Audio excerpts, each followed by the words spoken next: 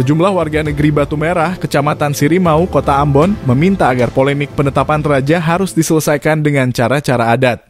Permintaan itu disampaikan pihak Nurlete saat bertatap muka dengan penjabat wali Kota Ambon, Bodewin Watimena di ruang kerjanya Kamis 7 Desember 2023. Hari ini saya duduk bersama dengan sejumlah warga Batu Merah dari pihak Nurlete, dan mereka hanya minta masalah ini harus diselesaikan dengan sumpah adat, kata Bodewin.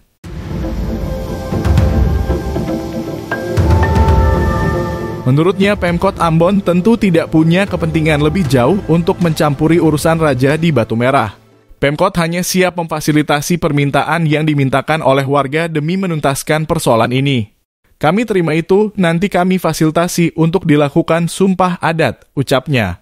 Ditambahkan maksud dari sumpah adat ini supaya bisa membuktikan bahwa siapa yang berhak menjadi raja di negeri Batu Merah. Diketahui pada Rabu 6 Desember 2023 malam warga negeri Batu Merah sempat memblokade ruas jalan utama selama beberapa jam. Alhasil, kemacetan pun terjadi karena kendaraan tidak dapat melintasi kawasan tersebut.